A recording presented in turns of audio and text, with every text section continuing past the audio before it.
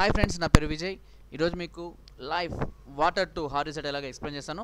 So ఈ మధ్య కాలంలో ఓల్టీ టెక్నాలజీతో వచ్చిన లైఫ్ వాటర్ టూ మొబైల్ చాలా ఎక్కువగా అమ్ముడైపోయాయని చెప్పుకోవచ్చు.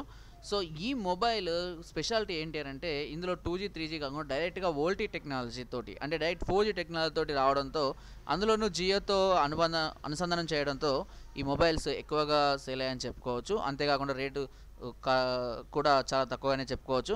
అయితే ఇటీవల కాలంలో ఈ మొబైల్లో ఎక్కువగా వస్తున్న ప్రాబ్లమ్స్ ఏంటంటే హ్యాంగ్ అవ్వడం హీట్ అవ్వడం లేదంటే స్ట్రక్ అవ్వడం నెట్ సరిగ్గా ఆన్ కాకపోవడము యాప్స్ సపోర్ట్ చేయకపోవడము ఎస్పెషల్గా ప్యాటర్న్ లాక్ పెట్టి మర్చిపోవడం. సో ఇలాంటివి ఎక్కువగా జరుగుతున్నాయి. సో ఇలాంటి వాటన్నిటికీ కూడా ఒకే ఒక సొల్యూషన్ ఉంది అదే హార్డ్ రీసెట్. సో ఈ హార్డ్ రీసెట్ చేయడం వల్ల మన మొబైల్కి ఎలాంటి ప్రాబ్లం ఉండదు ఎలాంటి రిస్క్ కూడా ఉండదు.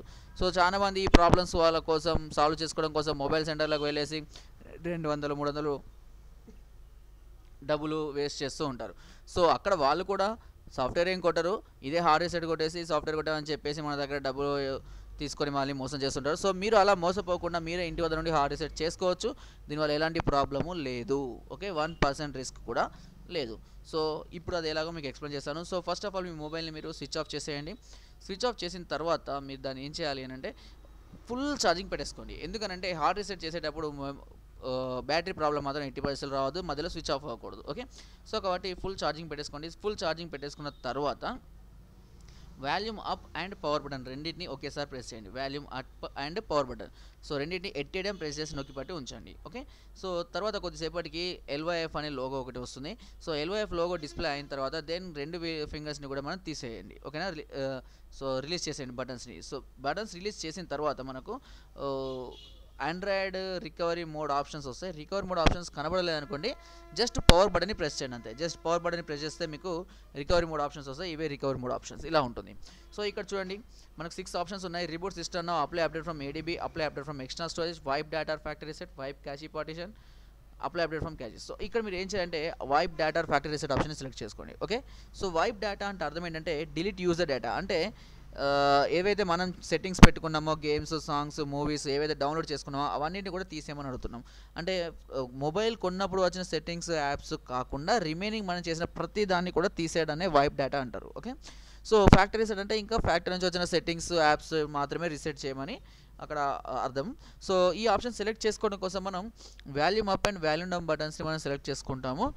ఈ వాల్యూమ్ అప్ వాల్యూమ్ డౌన్ బటన్స్ని స్క్రాలర్ గాను అదేవిధంగా ఓకే చేయడానికి పవర్ బటన్ని యూస్ చేసుకుంటాం ఓకే సో ఇప్పుడు ఈ wipe data factory reset option select చేసుకున్న తర్వాత మనకు ఈ విధంగా వస్తుంది. ఇక్కడ కన్ఫర్మేషన్ అడుగుతుంది అంటే ఎస్ అని తీసేయమంటారా వద్దా అని.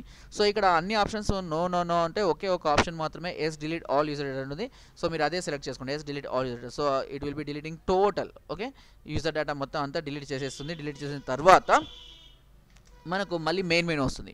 ఇక్కడ మెయిన్ మెనూలో చూడండి రిబూట్ సిస్టమ్ నా అనే ఆప్షన్ సెలెక్ట్ చేసుకోమంటారు. సో రిబూట్ సిస్టమ్ నా అంటే ఏంటంటే ఇంకా హార్డ్ రీసెట్ అయిపోయింది కాబట్టి మొబైల్ రీస్టార్ట్ చేసుకోమని అర్థం.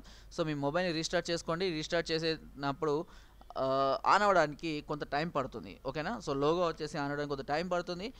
అట్లీస్ట్ ఫైవ్ మినిట్స్ పట్టచ్చు టెన్ మినిట్స్ పట్టచ్చు. సో మీరు ఎట్లాంటి మధ్యలో బ్యాటరీ తీయడం లాంటివి ఏమీ చేయవద్దు సో టోటల్గా ఆన్ అయిన తర్వాత మళ్ళీ మీరు కొత్త మొబైల్ కొన్నప్పుడు ఏ విధమైన సెట్టింగ్స్ ఏవైతే